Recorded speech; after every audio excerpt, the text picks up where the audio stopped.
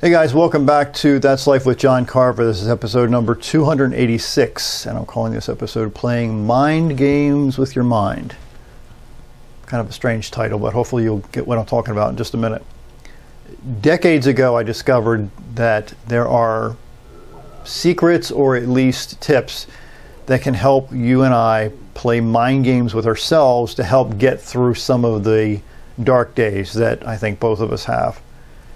There's a neurotransmitter in all of our brains called dopamine, and that's a very powerful molecule. That that kind of it's it's uh, partnered with adrenaline, which is the fight or flight uh, molecule that gives you the sense of fighting towards something or running from something.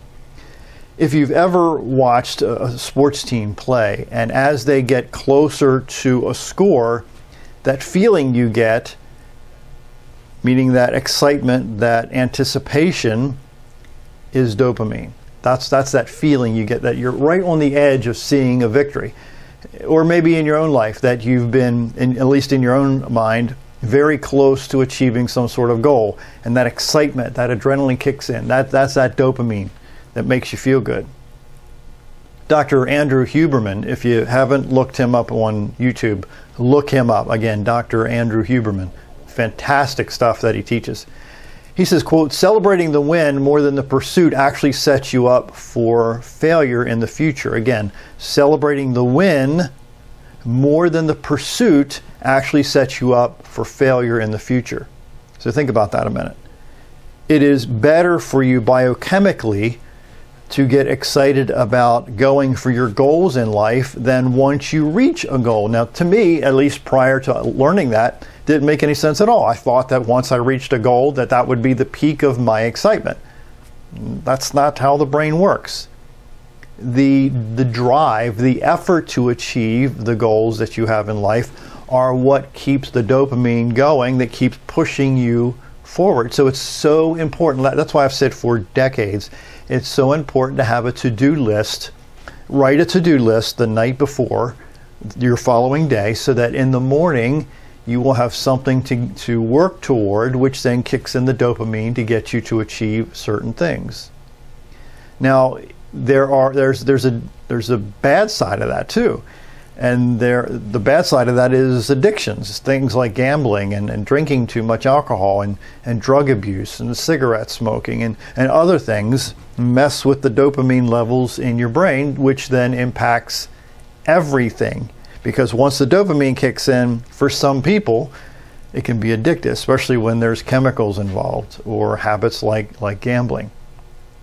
Now, there's some of you don't know that alcoholism runs in the paternal side of my family. Well, I decided way back when I was in my late teens that I wouldn't drink alcohol ever because knowing that alcoholism runs deep into my family tree, to me, it would be foolish to invite that temptation or that potential temptation into my world that would again impact my family. So I, have learned through observation that there are some things that I need to stay away from because certain things run in my family. How about you? Are there certain things in your family that maybe you, you need to walk away from that you're doing that has not been productive in your own life? So if you develop a set of rules that when you are maybe tempted to do certain things, or maybe have a set of rules where you won't do certain things, the, the will not do rules. There's other things that I will not do because I know that that leads down a path that is not very healthy.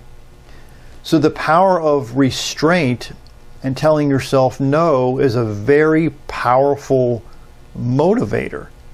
Again, you have to you have to set boundaries, at least the successful people have to set boundaries in their lives in in order for them to maximize the biochemical stuff that goes on in their brains to make things a little easier for them to reach some of the goals that they have in their life. So when you choose to lean into becoming stronger emotionally and physically, your levels of dopamine will give you a springboard to help you learn faster and do things faster, but you have to leverage that on purpose.